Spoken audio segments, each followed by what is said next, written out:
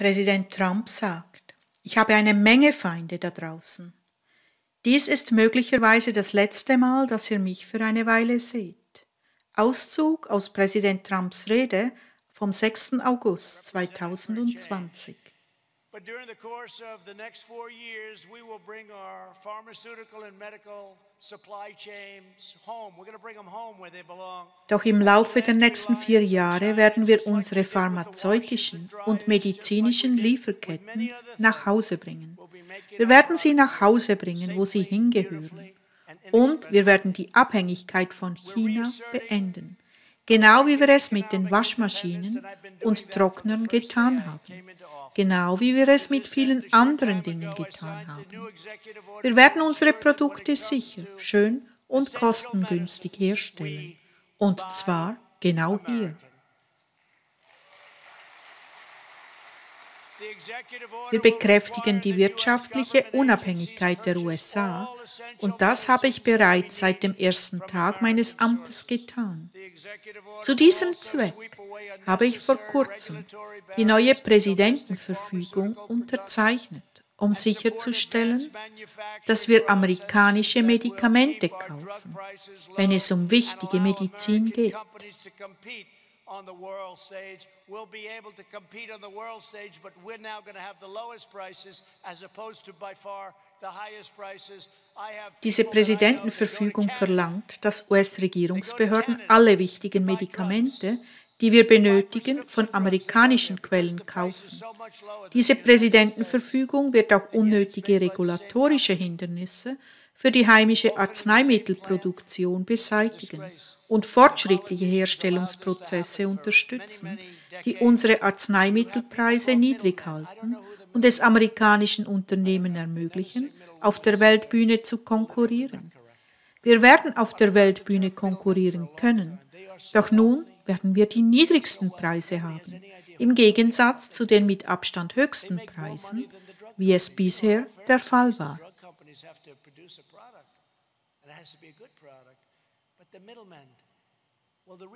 Ich habe Leute, von denen ich weiß, dass sie nach Kanada gehen.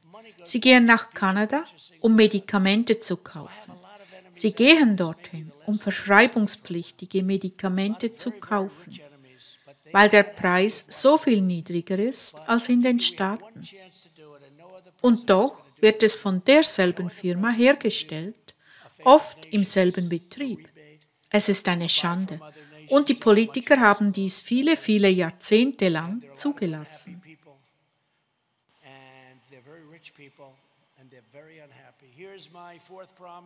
Da gibt es Leute, die Mittelsmänner genannt werden. Ich weiß nicht, wer die Mittelsmänner sind. Ich weiß es nicht. Und sie sagen niemals Mittelsfrauen.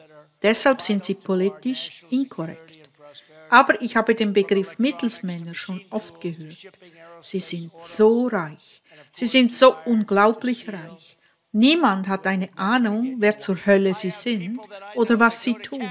Sie verdienen mehr Geld als die Pharmaunternehmen. Nun ja, fairerweise müssen zumindest die Pharmaunternehmen ein Produkt produzieren. Und es muss ein gutes Produkt sein.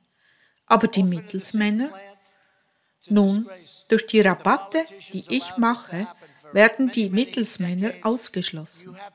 Dies reduziert Kosten und das Geld geht zurück an die Leute, die die Medikamente kaufen.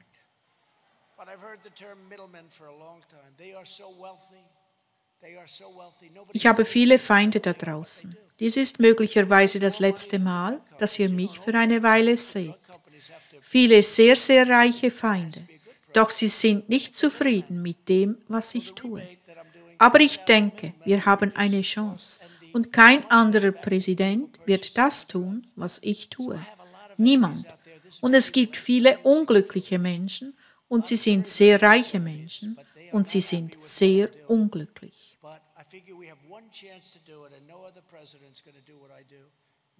Hier ist mein viertes Versprechen an alle amerikanischen Arbeitnehmer.